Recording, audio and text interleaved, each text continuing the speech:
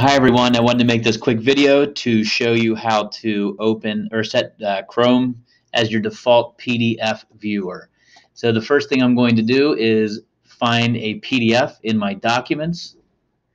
Once I do this, I can right click on that document, go down to open with, select choose another app. Once I'm in here, I can click on Google Chrome then I can select always use this app to open PDF files. Then I select OK. And you'll see that it will open in Chrome. From here, if I need to print, I can click on the print icon. Now this should be the normal view that you see when you print. I can also click on print using system dialog box and then I can add my finishes such as staples or collating or whatever you want. If you have any questions, as always, please contact me and I would be happy to help.